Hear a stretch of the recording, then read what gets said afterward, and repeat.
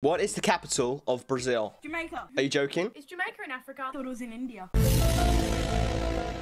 No, no, no, no, no, wait. Mexico. Okay, well, it, it, it's Brasilia. So the capital of Brazil is Brasilia. Yeah. Okay, I'll give you another question. I'll give you another question. What language do Brazilians speak? Spanish. I speak Brazilian. Rio de Janeiro.